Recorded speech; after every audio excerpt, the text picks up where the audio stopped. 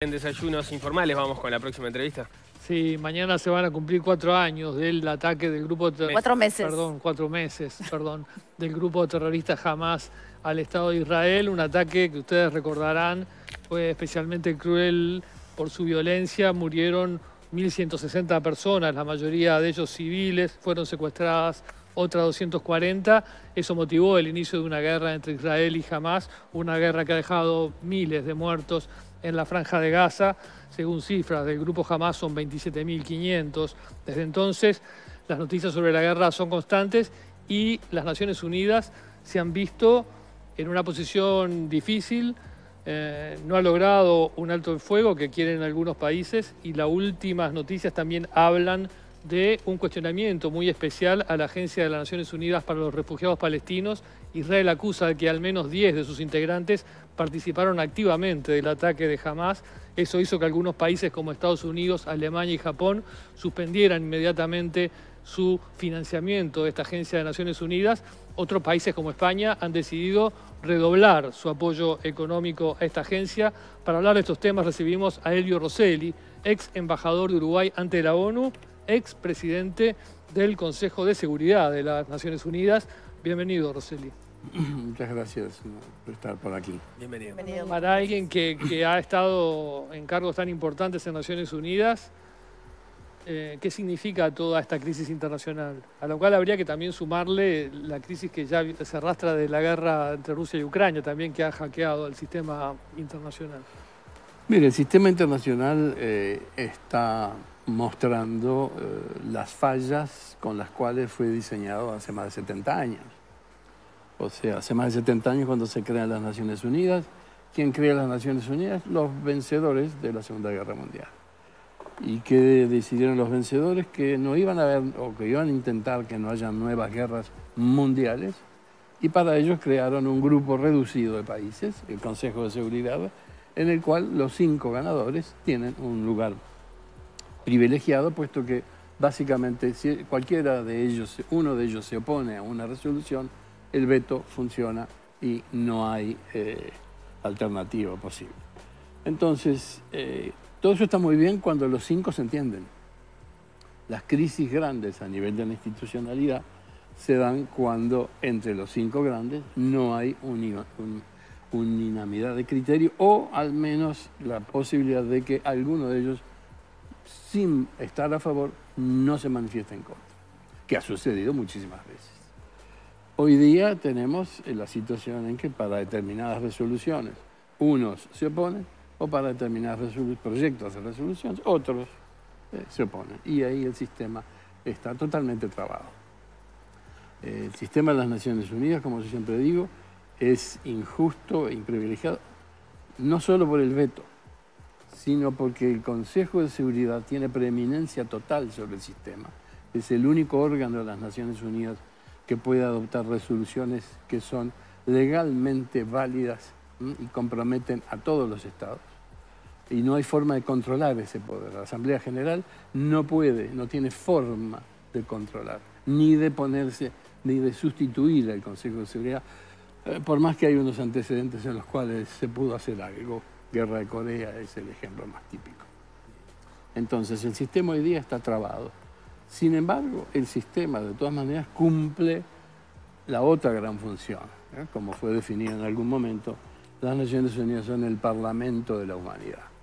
¿Qué es el rol? El rol es que se pueda airear ahí, que se pueda discutir, que se puedan manifestar las diferentes voces y puntos de vista eh, de manera abierta ante el mundo.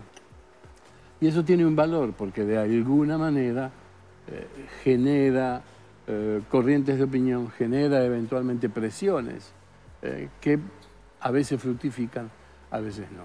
En este momento, por ejemplo, el sistema está muy orientado hacia algo que es casi está en el ABC de intentar resolver cualquier conflicto, que es muy difícil resolver ningún conflicto mientras hayan disparos, bombas y tiros. O sea, lo primero para resolver un conflicto es parar cese el fuego. El problema del cese el fuego históricamente en cualquier conflicto es que quien va ganando no quiere parar porque va ganando y dice que normalmente dice que el otro va a aprovechar el impasse para rearmarse y volver a atacar. Y el que va perdiendo dice, no, no, no, no, vamos a cumplir, vamos a cumplir.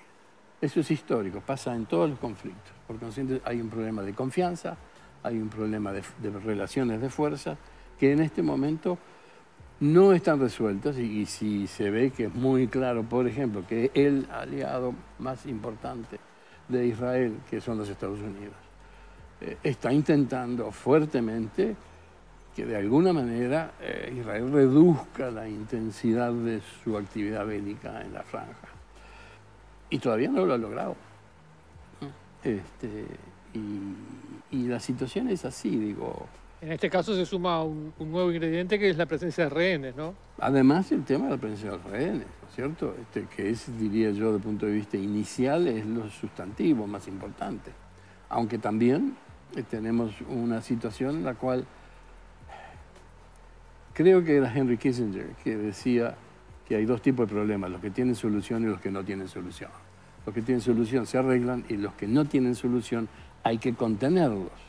El Medio Oriente ha sido uno de estos ejemplos de contención. Sin embargo, hoy día los muros de contención están temblando porque no solo tenemos el problema de Israel jamás, no solo teníamos la guerra de Siria que nunca terminó y sigue todo activo ahí, pero ya en el sistema, en, las noticias ni figura. Tenemos Yemen, que hace años que está, simplemente que ahora se agrandó porque los Houthis están tirando proyectiles sobre los navíos que pasan por el estrecho de Babel Mandel. Pero eh, eh, no hay, eh, digamos, los, muros de contención están temblando. ¿Y ¿Estamos ante una situación así, de esas que en principio no tienen solución? Mi opinión personal es que tienen muy difícil solución. Porque las Naciones deberíamos retrotraernos en el tiempo y empezar por Dios creó este, los cielos y la tierra, ¿eh? porque todo empieza como por allá. Eh, las Naciones Unidas, para mal o para bien, en el 47 sugirieron que la forma de resolver lo que pasaba en, Palestina era dividiendo el territorio, un Estado judío y otro Estado eh, árabe, viviendo juntos y compartiendo una unión económica. La gente se olvida cuando ve la partición que el plan de Naciones Unidas tenía eh, cierto aspecto de diligencia porque hablaba de una unión económica para hacer viable a ese conjunto. El tema de los dos estados nunca anduvo. Este, Israel aceptó la resolución, los estados árabes que se habían opuesto en la votación invadieron de inmediato una vez que Israel eh, proclamó su, su estado este, y muy rápidamente cuando pierden la guerra no hubo ningún problema. Este, Jordania, Jordán se quedó con ella y la franja de Gaza, que era parte de territorio que nunca estaba eh, en, la ecuación inicial, digamos, Egipto se quedó con ella. O sea, la, la solidaridad de los estados árabes para con los palestinos fue muy simple, fue nos quedamos con el territorio. Es una parte de la historia que hoy ah, pocos recuerdan, ¿no? ah, pocos recuerdan, sí, sí. De la misma forma que nunca los enormemente ricos estados árabes eh, favorecieron o hicieron programas de desarrollo para los palestinos que estaban en esos territorios. Nunca hubo inversiones, nunca hubo, no, no, simplemente dádivas, alimentar los campamentos, que tuvieran comida, agua, este, y ahí siguieron. Prefirieron tenerlos, tenerlos como una especie de, de arma de presión contra Israel, digamos. Creo, que inicialmente probablemente la gente pensó que eso se iba a ir arreglando, pero en el transcurso del tiempo no se fue arreglando nada y las cosas han quedado donde quedaron. Y el secretario general de la ONU, Antonio Guterres, manifestó hace un par de meses atrás que para él la única vía posible para lograr una paz duradera era justamente la creación de dos estados independientes. Exacto. ¿Usted coincide entonces con esta visión? Yo sigo coincidiendo, sigo creyendo en la solución de, de los dos estados. Lamentablemente cada vez está más difícil, porque si hoy mirásemos el problema de, todas estas conversaciones es que hay que mirar los mapas. Hay que tenerlos sobre los mapas. Hay que mirar los mapas. Y si ustedes miran ¿Cuál es la parte más importante de territorio que queda por resolverse? Es lo que era la vieja Cisjordania o lo que eh, la literatura inglesa se llama el West Bank. Si hoy se mira y se compara lo que eran las partes de Cisjordania que hubieran correspondido al Estado palestino y vemos hoy lo que son los asentamientos colonizadores eh, israelíes, no está quedando en ningún territorio. Entonces, si... El avance de la colonización israelí dificulta porque el territorio ya, ya, no está. Si en el 47, cuando se produce el desplazamiento brutal de palestinos a consecuencia del establecimiento del Estado de Israel y todas esas cosas que los israelíes dicen nuestra tierra, los palestinos que nos echaron, el hecho es que hubo un desplazamiento de, se calcula unas 700.000 personas a punta de fusil. ¿ah? Este, y esos eran los que perdieron hoy día intentar desalojar a los colonos israelíes, que son unos 300.000 en, en Cisjordania, este, va a ser más difícil porque los tendrían que sacar su propio Estado, que teóricamente son quienes ganaron. Eh, entonces, es muy difícil y exigiría una enorme voluntad política de palestinos, árabes de alrededor, y el resto del mundo, acompañados con programas de desarrollo económico para eh, facilitar que la humanidad empiece a mostrarse de verdad ante lo que son eh, el sufrimiento de los, campamentos palestinos. Ahora estamos en, la discusión de la, solución de fondo del problema, estamos con una situación este, de, crisis humanitaria este, enorme. en, este, en este momento ahí y dejando de lado la discusión sobre la institucionalidad de, la ONU, que también este, es otro tema que se podría abrir, eh, ¿cuáles son los hitos que se han dado en, estos cuatro meses de, conflicto y qué es lo que tiene para hacer la diplomacia internacional para poder paliar esta crisis humanitaria? Yo diría que lo que la diplomacia internacional, qué es lo que en definitiva está haciendo, está tratando de, no de resolver, sino de disminuir el sufrimiento de la población que está atrapada entre Hamas por un lado y la fuerza ah, de defensa israelí del otro. Y entonces el esfuerzo mayor que la comunidad está tratando de hacer, y Antonio Guterres es la cabeza más visible, es detengamos, alto el fuego, por favor, porque tampoco podemos poner a los colaboradores humanitarios a intentar distribuir alimentos, está en el medio del tiroteo. Además ya han muerto más de ciento y pico de, funcionario de Naciones Unidas este, en, en, eh, Gaza. ¿eh?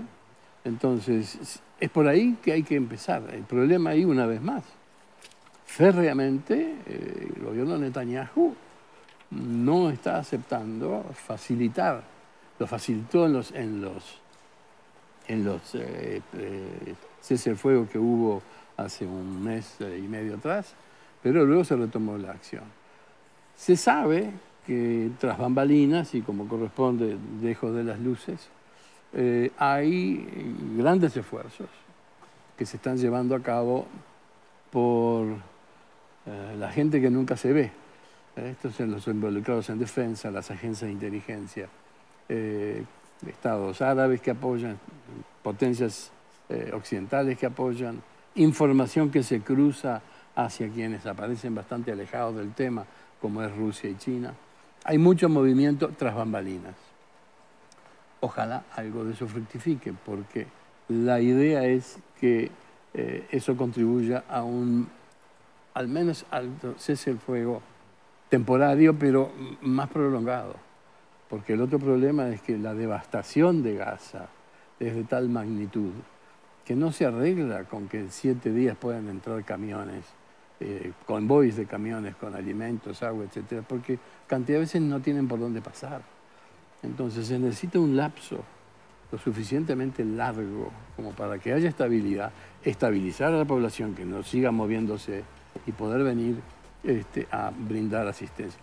Eso es una gotita de agua en un desierto que está muy sediento de mucha más agua. Y cuando digo agua acá me refiero a alimentación, vivienda, salubridad eh, y todas las cosas que se necesitan para un vivir más o menos decente. ¿Qué es, la, ¿Qué es la Agencia de Naciones Unidas para los Refugiados Palestinos que está en cuestión desde que Israel la acusó de... La, vieja UNRWA. Haber sido copada por Hamas. La UNRWA se creó precisamente para atender las necesidades de los refugiados palestinos este, y hace casi 70 años está funcionando. Eh, Israel ha reiterado, porque simplemente ahora eh, tomó mucho más notoriedad porque dijeron son 10 o 12 fulanos que sabemos quiénes son. Pero cuando estábamos nosotros en el Consejo de Seguridad, los colegas israelíes fuera de micrófonos este, siempre nos decían, el problema con UNRWA es que hay mucha infiltración. son palestinos, la mayor parte de los empleados de Naciones Unidas son contratados locales, eh, que unos por convicción, otros por presión, pueden, a lo mejor, sí, facilitar algo. Em, lo curioso esta vez que, a ver, que Estados Unidos responda muy rápidamente a una, eh, a una manifestación israelí no me llama la atención. Me llama la atención que otros estados, que normalmente son muy sobrios, estoy pensando en Japón, en algunos de los nórdicos, que ellos también frenaron sus contribuciones, con lo cual le da mayor credibilidad a, la aseveración israelí. Y eh, acordémonos de una cosa, yo siempre lo digo, en la guerra la primera víctima es la verdad. O sea, en, una guerra, eh, cualquier versión que pasa por un lado o por el otro hay que filtrarla, chequearla, dar la vuelta y volverla a chequear. Eh, la información aparentemente es muy restringida eh, y el secretario general rápidamente actuó. Antonio Guterres es una personalidad formidable que le ha tocado bailar con un pedido muy negro, porque cinco años atrás, en el primer mandato, tuvo que lidiar con la presidencia del señor Donald Trump. Y ahora con, con la guerra de Ucrania y y, todo el reavivamiento del conflicto en el Medio Oriente.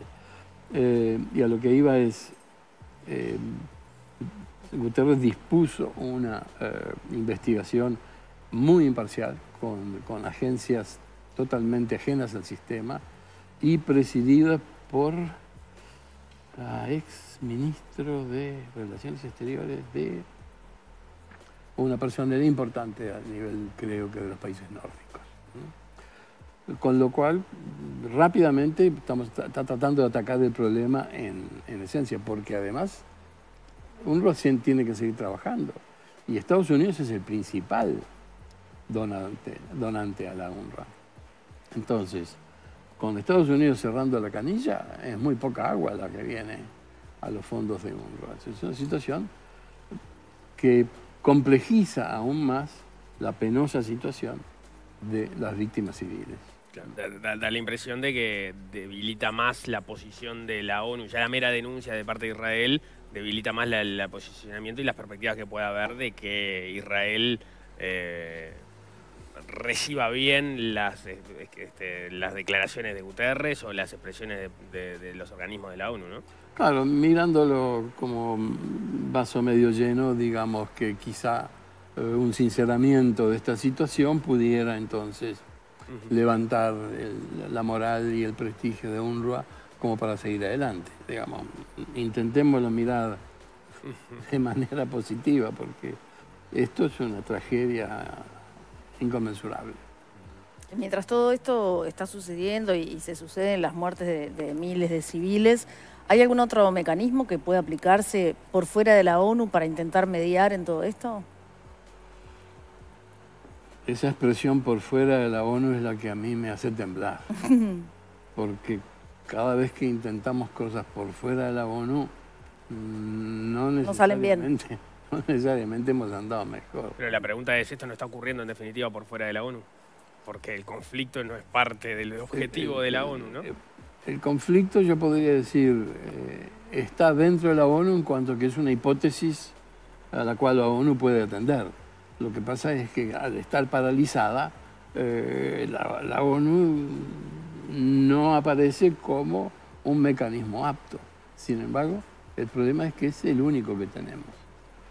Entonces hay que seguir trabajando dentro de él porque y los que puedan ayudar desde afuera que ayuden también, pero el, valor intrínseco del Parlamento del Hombre eh, es, muy alto y confiemos en que las gestiones que se están llevando por fuera de la ONU, las que yo hacía alusión recién, esas reuniones tras bambalinas. tras bambalinas, los esfuerzos del secretario general, los esfuerzos de distintas personalidades, el clamor que se viene haciendo debería en algún momento fructificar en algo.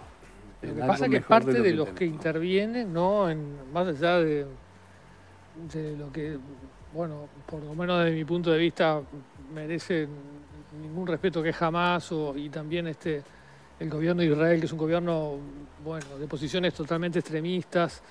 Eh, parte de los que intervienen mediando, uno es Qatar, que es el que financia jamás, digamos. Entonces ya, ya el entrevero es tan grande, digamos, que el que la ve de afuera no sabe para dónde apuntar, ¿no? Porque ahora eh, Qatar es, pieza fundamental de lograr un acuerdo de liberación de rehenes y de, y de alto el fuego, pero es el que alimentó todos estos años la maquinaria de Hamas, que aparte tiene la perversión de haberse montado en infraestructuras civiles que son parte de la tragedia actual, porque para atacar eh, a Hamas hay que atacar eh, objetivos civiles también. Entonces, bueno, no sé, muy, para mí resulta muy... Este... Acá no hay nada blanco y negro, es todo una amplia paleta de matices que van desde el blanco puro al negro puro, con una gran tendencia a quedarse sobre la parte más oscura de la paleta. Hay mucha cosa que sucede que aparenta ser eh, extrañamente o contradictoria, pero que cuando se va mirando desde una perspectiva más amplia, tiene eh, su, su aplicación. ¿Qué está haciendo Qatar? Y Qatar está demostrando su independencia con relación a Arabia Saudita. Qatar tiene relaciones amistosas con Irán, pero tiene una gigantesca base norteamericana en su territorio, ¿no es cierto? ¿Cómo lo juntamos? Bueno, Qatar quiere sobrevivir y ser una personalidad firme en ese otro contexto.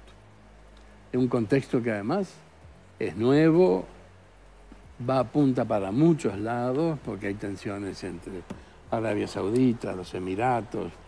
Arabia Saudita y los Emiratos se habían unido para atacar a los Houthis en Yemen hace cinco años atrás. Después se pelearon porque los Emiratos estaban cansados de los gastos que tienen que hacer y se retiraron, este, pero siguen ahí involucrados.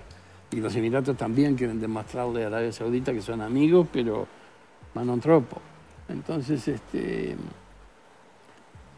e, este, hay todo un universo vivo por ahí detrás que hay que de alguna manera entretejerlo en esto otro, sin distraernos además. Entonces, eh, es como lo de siempre, es el malabarismo, estamos tirando al aire, ¿no? Cuchillos, cucharas, pelotitas, bolos, este, y hay que estar manejándolos todo el tiempo porque son los distintos ingredientes que están jugando en un escenario complejo. Hay, hay otro terreno donde podría jugarse parte de esta este, discusión en el plano diplomático, este, que es la acusación contra Israel de cometer genocidio ante la Corte Internacional de Justicia, una acusación realizada por Sudáfrica, si no me equivoco. ¿Qué, dispara esto? ¿Qué implica? ¿Qué rol puede jugar en, este momento del conflicto? Bien. Yo soy muy afecto a la teoría realista de las relaciones internacionales desde el punto de vista de la teoría realista las relaciones internacionales, es poca la importancia que se le pueda dar a esto. No constituye siquiera un fallo de la Corte Internacional. Es, parte del preludio o del prólogo a lo que puede ser la consideración de la denuncia que hizo, que hizo Sudáfrica. Eh, y de alguna manera me hace acordar aquella vieja anécdota que se dice al final de la Segunda Guerra cuando en un diálogo ahí entre Churchill y Stalin, este, Churchill le dice, mire que hasta el Papa está quejándose de la violencia ejercida por sus tropas. y que Stalin le habría respondido, ¿cuántas divisiones tiene el Papa? Entonces acá, desde el punto de vista del territorio, con los bombardeos israelíes, los ataques de Hamas, ¿cuántas divisiones tiene la Corte Internacional? Yo no le veo incidiendo en el terreno. Sí incide en la opinión pública. ¿Ah? y ese es otro partido. Desde, el, punto, desde el punto de vista mm, de, la teoría realista de las relaciones internacionales, ¿qué importancia tiene la discusión sobre eh, esa nueva institucionalidad que requeriría la ONU, este, que parece eh, en cierta forma agotada de lo que fue su diseño en, hace 70 años? No voy a hablar por todos los teóricos del pensamiento en las relaciones internacionales la nueva institucionalidad que se quiere diseñar. Eh, para que se pueda diseñar requiere un, un punto de encuentro entre Rusia, China, Estados Unidos. Si no hay un punto de encuentro ahí, Pero, esto no tiene regla. ¿Es viable? ¿Es viable ese punto de encuentro? En este momento creo que no. Estamos en un contexto donde las tensiones entre ellos es este, mayor que hace 10, 15 años. Es mayor que hace 10, 15 años, pero se hablan continuamente. ¿Ah? Este, eh, no nos olvidemos del famoso teléfono eh, rojo de la eh, Guerra Fría. hay tres teléfonos rojos por lo menos funcionando todo el tiempo. Entonces, volviendo a la pregunta sobre la institucionalidad, yo veo muy difícil avanzar en un cambio institucional eh, con un proceso, bélico como el que estamos en curso en este momento. Eh, entonces vamos a tener que seguir con lo que tenemos entre las manos. Y, lo que tenemos en las manos es poco, pero es lo que tenemos. Pero no es un problema prolongar el periodo de desgaste de la ONU como herramienta mientras no se llega a una nueva institucionalidad? Es probablemente que sea un problema, sí. Pero, ¿Cuál es la alternativa? ¿Y qué, ¿Y qué siente usted ante ciertos discursos que los tenemos en Uruguay también de mm, partidos políticos que tienen una creciente importancia en el mundo en general, acá en Uruguay han crecido también, que descreen de todo el organigrama internacional, que consideran que son una afectación a la soberanía de, cada de todos los países y que simplemente lo consideran una especie de carga, de rémora, de, peso muerto. Opiniones extremistas siempre han existido y existirán. Mm. Eh, eh, los estados pueden voluntariamente retirarse de las Naciones Unidas, no se crearon por mandato divino, se crearon por un proceso de evolución de negociación y los estados que son parte de las Naciones Unidas son parte porque así lo han querido. Eh, por consiguiente, todos esos ilustres eh, portavoces de, la rémora de las Naciones Unidas y más pueden retirarse, digo, no, no pasa nada, este, pero no lo hacen, porque, como decía aquel, si, si no estás en una cena o, sos este, eh, comensal o sos parte del menú. Eh, tengo, tengo una más. Este, es muchísimo menos importante, pero, pero viene al caso, tiene, tiene que ver. en Uruguay se ha dado cierta discusión a propósito de las posiciones que, se han tomado en relación a algunas de las declaraciones este, que, de las resoluciones que se ha votado la, ONU. Concretamente se han este, criticado algunas abstenciones que se han tomado en las declaraciones confieso que me, pierdo porque el lenguaje de la diplomacia termina siendo muy, sutil, pero usted cómo ha visto el posicionamiento que ha tenido Uruguay en relación a este tema? Yo creo que el posicionamiento ha sido correcto. El Uruguay siempre ha tenido una, en, relación a este problema, una posición muy clara desde el inicio. Además, Uruguay fue parte del grupo de países que sugirió la, la partición de Palestina y el establecimiento de la Unión Económica. Y esa es una ruta que el Uruguay continúa siempre. También buscamos en las resoluciones que aprobamos en Naciones Unidas que haya un cierto equilibrio ¿eh? Eh, en los textos.